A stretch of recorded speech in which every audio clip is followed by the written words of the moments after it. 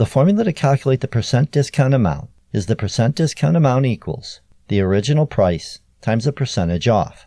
As an example, let's say that you need to buy some new tires, and a tire store is having a 15% off sale for all the sets of tires in the store. You find a set of tires that you like that costs $350. What is the percent discount amount, and what is the price of the tires after the discount?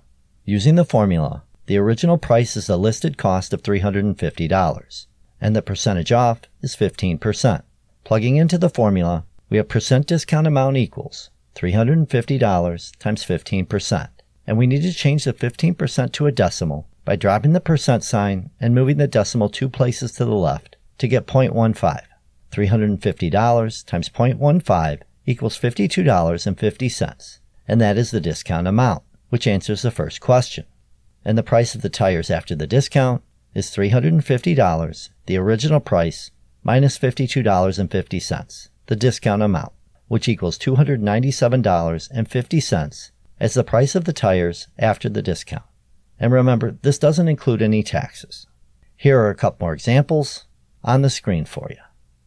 All right, my friends, hopefully you got something out of this video. I do have more videos right there for you. Till next time, I am out of here.